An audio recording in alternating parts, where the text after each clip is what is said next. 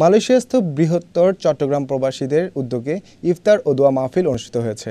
রোববার সন্ধ্যায় কুয়ালালামপুরের কেলেঙ্গা wholesale city হল রুমে এই আয়োজন করা হয়।